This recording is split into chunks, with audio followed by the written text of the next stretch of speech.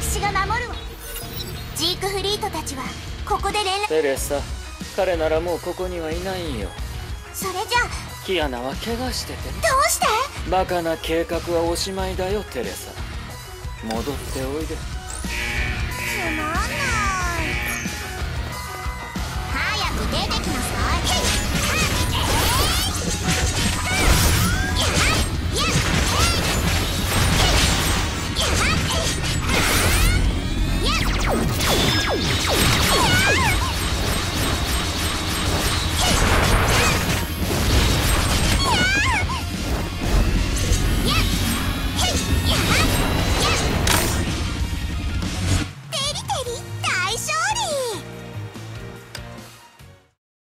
ジークフリートと実験体 K423 には逃げられたけどキアナは回収できた。